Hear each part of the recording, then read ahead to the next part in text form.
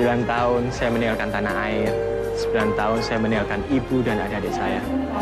Saya bahagia akhirnya bisa pulang.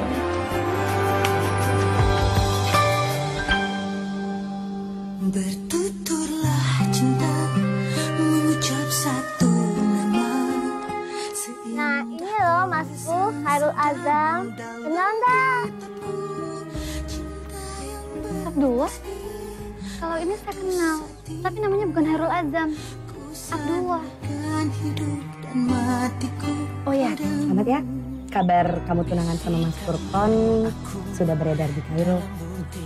Mohon doanya ya Mbak.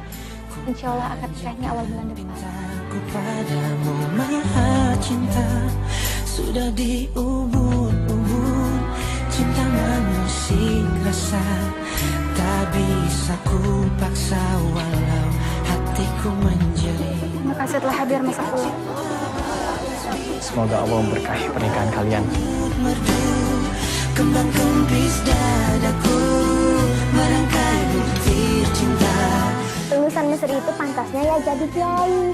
Aku jadi dosen gitu loh Mas. menantang Sujud syukur padamu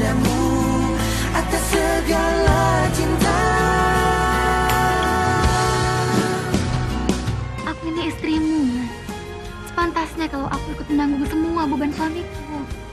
Ini menyangkut kehormatan keluarga. Keluarga kita.